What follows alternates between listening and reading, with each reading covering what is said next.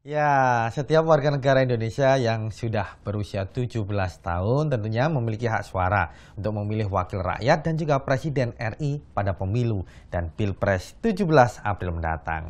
Karena itu, sosialisasi pemilu dan juga Pilpres harus terus dilakukan, tak hanya oleh KPU sebagai penyelenggara, tapi juga oleh para relawan. Dan seperti yang ada di Ngawi ini, para relawan demokrasi menggelar sosialisasi pemilu dan juga pilpres pada pekerja tempat hiburan malam. Wow, salut!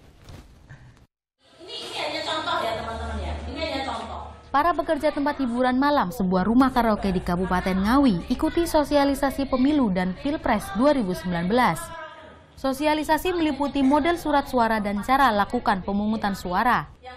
Sosialisasi pemilu dan pilpres ini digelar para relawan demokrasi.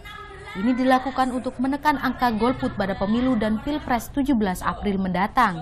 Karena sesuai pengalamannya mereka malamnya itu sudah capek bekerja, jadi kadang-kadang tidak menggunakan hak pilih. Itu yang pertama. Yang kedua rata-rata juga dari luar daerah sehingga mereka membutuhkan apa ya sosialisasi bahwa memilih itu penting sehingga tidak golput kita nanti jangan sampai golput ya kalau bisa kita uh, pilih dari hati uh, semoga uh, pemilu nanti lancar gitu aja Selain bekerja tempat hiburan malam, para relawan demokrasi juga akan berikan sosialisasi pada pemulung dan tukang beca.